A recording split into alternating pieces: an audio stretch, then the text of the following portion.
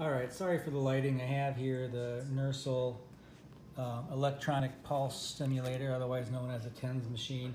Just a quick shot of everything that's in the box. There are actually three um, electrode leads. One of them is attached to the machine right now, as you can see. The user manual, an assortment of exercise pads, a little belt clip you see that can be used to um, the machine will go in there and you can carry it around on your belt. And then a plastic part that you can store the actual pads on when you're not using them to keep them fresh. And then a nice little carrying pouch.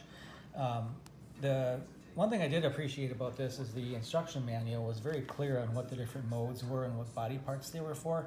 The unit this is replacing didn't really do that well and I was kind of left to guess and interpret from the pictures. But as you can see here, um, it's a very bright display, um, very user friendly, and it's adjustable to pretty much anything that you can imagine. Um, and you can adjust the backlight too. So all in all, I'm very happy with this as a replacement for the last unit that I had. It is a very nice upgrade and I would definitely buy this again. Thank you.